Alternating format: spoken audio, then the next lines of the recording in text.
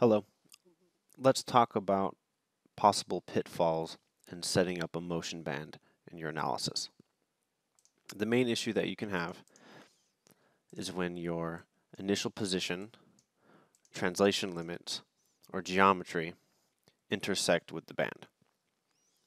First, let's introduce an important tool in diagnosing potential issues. The measure tool can be used when selecting multiple edges to determine the minimum distance between points. I'll measure both the top and bottom distances to help determine the positive and negative translation limits. The top of the anchor is 2 millimeters away from the top of the band. The bottom of the anchor is 5 millimeters away from the bottom of the band. Right now, the translation limit is set as 0, but can go as far as 2 millimeters. The positive limit is set as 4.9 millimeters, but can go as far as 5 millimeters. Let's look at what happens when we exceed that limit. Immediately we see that there is no immediate problem, uh, no errors pop up, which might indicate that we've set things up correctly. But when running the setup, we'll notice an error pop up.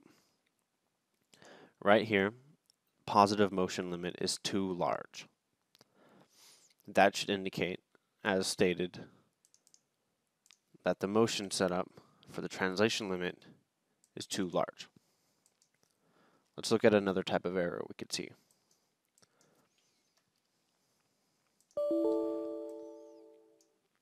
I attempted to set the initial position to negative 2 millimeters. The negative translation limit is 0 millimeters. The initial position must be in between these stops.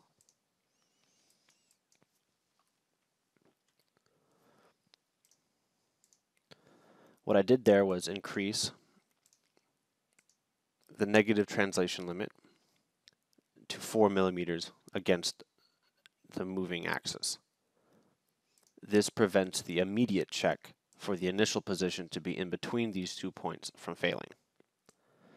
But note, my initial position is negative 2 millimeters, which will take us 2 millimeters away from our predefined moving vector, negative z. That takes us 2 millimeters up. So not only will we have our negative limit too high, but our initial position will coincide with the edge of the band. Let's see what that looks like. First, let's clear the messages so we can see the new error that pops up. Similarly, this will not pop up an immediate error, but we need to run the setup to see. The new error that we see, moving objects touch the stationary shell at initial position. This indicates that before motion, the moving object, outlined here in blue, touches the shell at the initial position. This can be deceptive because it appears that it is not touching the exterior edges.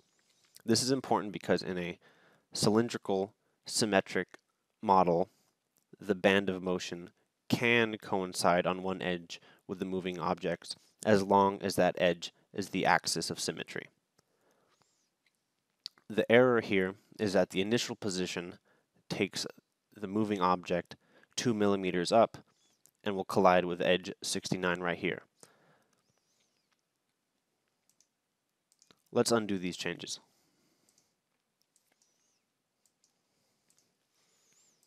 Similar to the moving objects touch the stationary shell at initial position error, due to the initial position, we can also have it simply due to the shape and size of the geometry.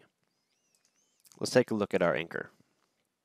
It is 2 millimeters wide, right here, whereas our band, and I'm making use of the measure tool again, is 2.5 millimeters wide.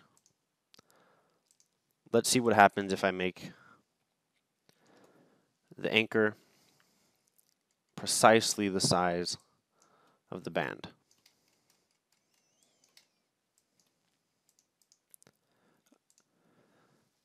I run the setup to see if it works as expected or if we develop any new errors. The errors start from here. Moving object touch the stationary shell. Similar to the above error, but lacking that at initial position. This should indicate that the error is not due to an initial position that we placed inside, but rather the geometry itself. Now recall, the moving objects are allowed to touch the band if that band edge is the axis of symmetry. This is only applicable for transient studies about the z-axis. It cannot touch the band at any of the other edges. These are the common errors that you might experience, and hopefully this video details how to avoid them.